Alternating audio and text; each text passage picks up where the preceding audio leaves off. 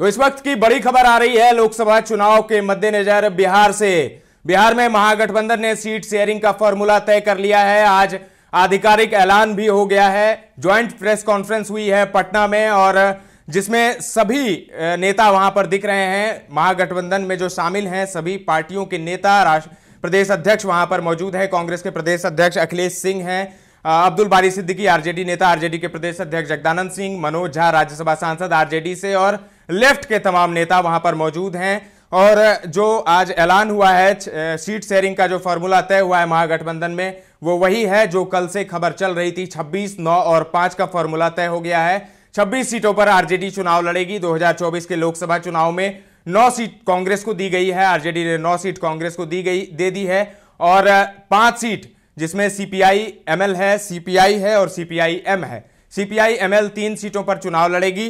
CPI M एक seat पर और सीपीआई एक सीट पर चुनाव लड़ने वाली है।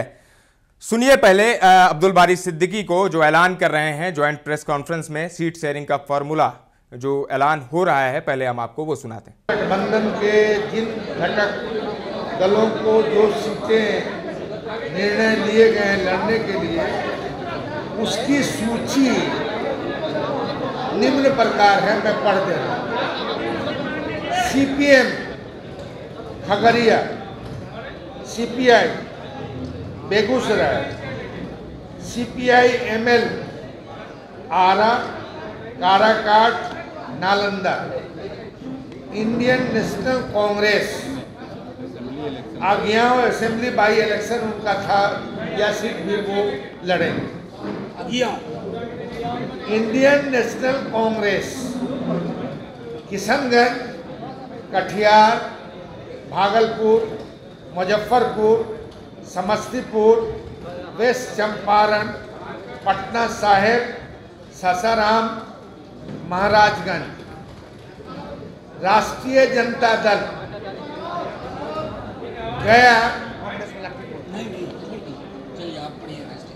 राष्ट्रीय जनता दल गया, नवादा, जहानाबाद, औरंगाबाद, बक्सर, पाटलिपुत्र, मुंगेर, जमुई, बांका, वाल्मीकि नगर, पूर्वी चंपारण, शिवहर, सीतामढ़ी, वैशाली, सारण, सीवान, गोपालगंज, उजियारपुर दरभंगा, मधुबनी, झंझारपुर, सुपौल, मधेपुरा, पूर्णिया, अररिया, हाजीपुर।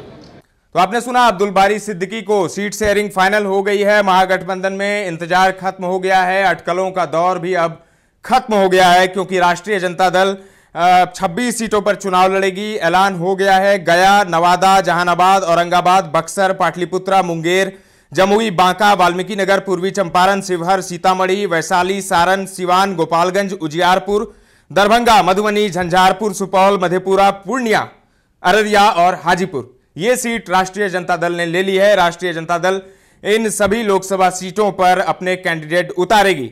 इंडियन नेशनल कांग्रेस की बात करें तो किशनगंज, कटिहार, भागलपुर, मुजफ्फरपुर, समस्तीपुर, वेस्ट चंपारण, पटना साहिब, सासाराम और महाराजगंज सीट कांग्रेस को मिली है। सीपीआई एमएल की बात करें तो आरा काराकाट नालंदा ये तीन सीट पर सीपीआई एमएल अपने कैंडिडेट उतारेगी। सीपीआई को बेगूसराय की सीट मिली है। आपको पता है कॉमरेड अवधेश राय वहाँ पर गिरिराज सिंह के खिलाफ होंगे। बीजेपी के कदावर नेता गिरिराज सिंह जो अपने बयानों की वजह से सुर्खियों में रहते हैं उनके खिलाफ बेगूसराय से अवधेश राय टाल ठो, ताल ठोकेंगे सीपीआई पार्टी से। सीपीएम को खगड़िया की सीट मिली है।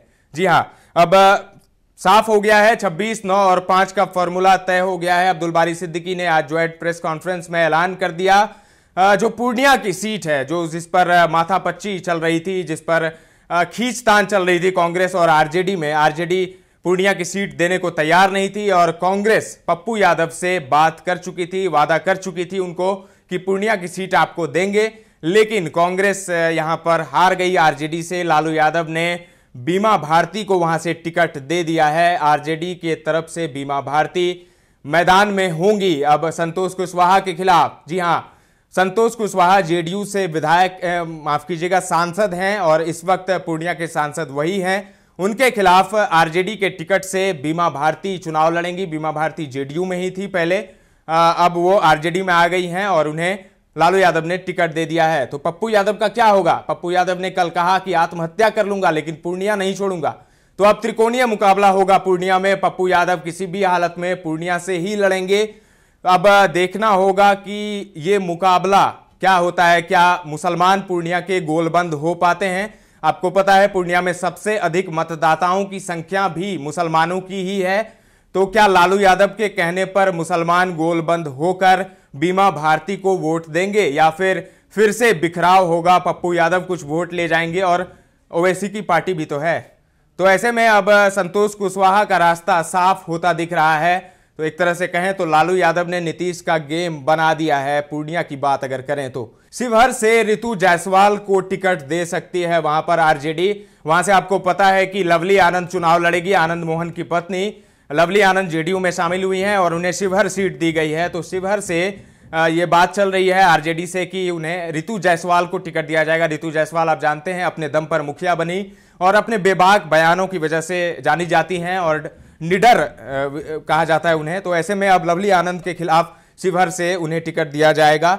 ये खबर है। तो सीट शेयरिंग फाइनल हो गई है, यही खबर आपको बता रहा था और इस वक्त की सबसे बड़ी खबर भी यही है। महागठबंधन में सीट शेयरिंग का फॉर्मूला तय हो गया है। 26 9 और 5 का फॉर्मूला बना है। 26 सीटों पर आरजेडी 9 सीटों पर कांग्रेस और पाँच सीट लेफ़्ट की पार्टियों को दी गई है। फ़िलहाल के लिए इस खबर में इतना ही। तमाम अपडेट्स आपको देते रहेंगे। बने रहें दर्श न्यूज़ के साथ।